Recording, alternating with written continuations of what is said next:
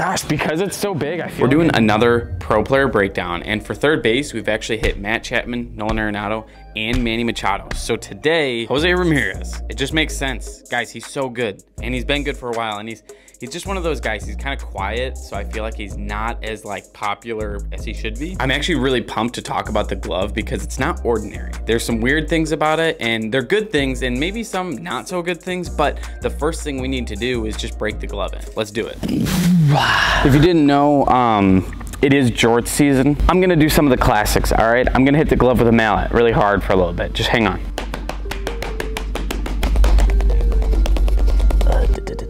Out of any glove that I've broken in, and I should say out of any like more expensive glove, like 200 bucks-ish and up, this is probably the easiest glove I've ever had to break in. It's not like absolutely perfect all the way done, but like it's it's basically game ready. I probably worked on it for three minutes. It was practically ready to go when I got it, but it's super weird because uh, it feels nice. It doesn't feel cheap. This is like buttery smooth, and so even just after a little bit of work, it's just super comfortable on the hand. I didn't mention it yet, but this is Japan Reserve Steer Hide. So it is steer hide. Over the years, I've kind of gone back and forth on whether I like kip or steer hide more. The problem is there is such thing as bad steer hide and there is such thing as bad kip. So like every individual glove and every, you know, manufacturer, it's gonna be different. We need to talk about these Eastons though, because it's crazy. I'm not 100% sure why, but these Easton gloves, like aren't very popular. Just like this glove here, it's not super common, it's not super popular, and it's a pretty solid price, especially for what you're getting, because this is a high quality glove. And I don't benefit from saying that, you know, I don't get money of any kind. But this, along with some other Easton gloves, are consistently cheap on, you know, all these baseball websites. Consider like the Easton Professional Series, the Easton Hybrid Series, you guys. That's a really good, like really good glove to get. Oh, by the way, the USA hats are on the website now, and we have like a dad hat version, so go check it out. Now, if you guys didn't know, our man's Jose has like a super common break-in style. He goes two in the pinky and he flares the glove. And when I say flare, it's like a not hard flare. It's a pretty soft, it's more like the glove is simply just built to be open. With that being said, it was very easy to break it in like that. I will show you with my actual glove in person now. We are going two in the pinky, and then if we roll over, we got just average, normal rolled fingers, nothing crazy. And like we said, thumb and pinky are both flared. When it comes to how the glove is closing, it's thumb to ring finger slash pinky, kind of right in the middle. I'm willing to bet a lot of you guys actually break your glove in just like that. Cause like I said, it's super common, super basic, cause it's effective. It's a really solid way to break in your glove. You're probably already like, I do that. I'm better than Jose Ramirez. That, that doesn't make any sense. One thing to note is the heel pad on this glove is like average size to maybe even slightly thin, which if it is thin, that is adding to the easy break-in. Thicker the heel, the harder it is to break it in. What I'm still just so surprised about is how comfortable and how nice the leather feels and just how not popular this glove is. And I think the main problem is that, did you see that? Oh yeah, I was supposed to, I just stopped talking. I just didn't continue. I think that the main problem is that people are too obsessed with like the main brands, like Wilson, Rawlings, yeah, like those are the only ones to buy from.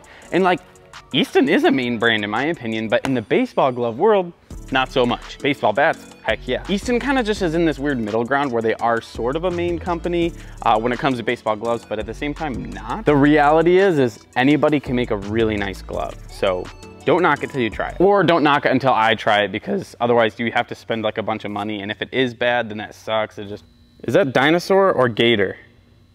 I don't know. But now we need to go talk about the weird part of this glove. By far, the weirdest part of this glove is that it is ridiculously big. So the glove is 12 inches long, but it feels like 12 and a quarter and honestly almost feels like 12 and a half. Like this thing feels like an outfield glove. With that being said, the fact that it still feels light while being so big is a pretty good plus. Like, the, oh my gosh, do you see that difference? Both of these gloves are 12 inches. That's like a pretty big difference. But there's still a lot of people out there that this would be perfect for. So let me explain. The leather on this is a little softer. So for anybody out there who wants something on the softer side, this is a fantastic option.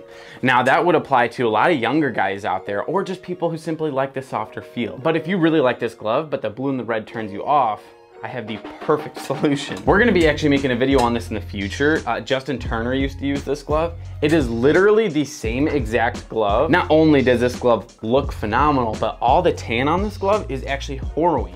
And then the black is the same leather as our other glove, that like reserve steer. You just can't go wrong with Horween. This is basically slightly thicker and slightly sturdier than that glove right there. I know for sure that justgloves.com does have them, so I mean, consider. I should probably like throw before these.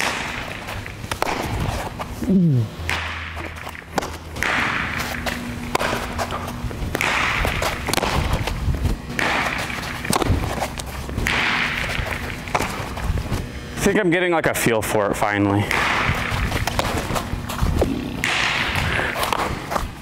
By far the biggest takeaway is just how big it is. We're gonna take more ground balls, but one thing I wanna say, this glove is literally perfect for a few people. Um, if you find yourself playing third base and outfield, I couldn't even think of like a better glove. So for outfield, you'll still be able to use it. It's like a slightly small outfield glove and a really big third base glove. Yeah, the leather feels great on it. It's super comfortable. But I have concerns about longevity, that's all. Like that's the biggest takeaway. It feels like it will get floppy pretty dang fast. It's just not exactly a good sign that it took me three minutes to break it in. Lost it. That's another one. Like I'm going to use that second hand and not even trying to close the glove, just trying to kind of capture it. But I don't know, it just kind of bounces around just enough to where it's almost like my hand goes half under it, half over it. Anything like that, where it's just the glove itself, left or right, it feels wonderful. Like I said, like an extremely comfortable glove. Go, keep going. Somehow hit a chopper that almost hit it. Like even when they're hit this hard, I don't think it'll, it's not gonna like permanently break something. It's, yeah, it's not like it'll like not function. Just back to back. oh, that's hilarious. If I had to guess, I would say the first like year that you use this glove, you'll absolutely love it, but slowly it's gonna become like a little bit too loose for your liking.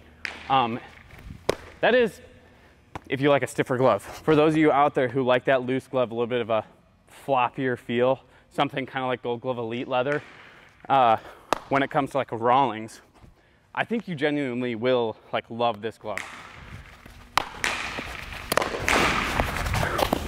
One thing I didn't mention is actually that Jose Ramirez is now using a Wilson, and that Wilson is like super sick. I, I, think it's awesome. I mean, it doesn't change the fact that this is a really nice glove, and I think for a lot of people, it's maybe not the best thing, but for the select few who are kind of that utility player, this is a pretty good option. No catch.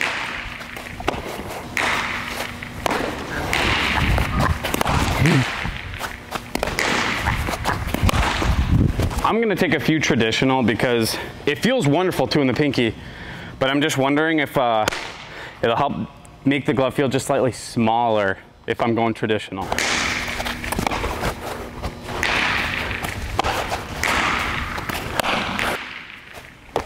Okay, for sure with traditional, I can feel uh, that palm more. You can keep going. Like I can feel, it's easier just to feel against the actual palm of my glove when I'm talking like this, transfers everything, it feels slightly smoother. So if you are gonna get it, consider going traditional.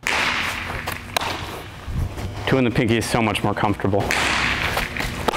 Yeah, confidence level is like out of the roof when I do go two in the pinky because it's a very comfortable glove already.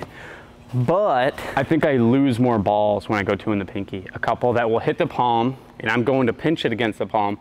But when it hits palm, it kind of shoots up a little bit and then it's just, where's the ball? I like this glove a lot. One more kick for good measure. I guess, yeah, I guess you can hit me one more. I was just gonna kick the glove. Closing comments, Jose Ramirez is underrated, um, probably because of who he plays for and he's just a quiet person from what we can see at least. If you wanna watch a review on another third baseman, we did Matt Chapman a little while back. I love the video, uh, I think it's great, it's fun, and that's one of my favorite gloves I own, so.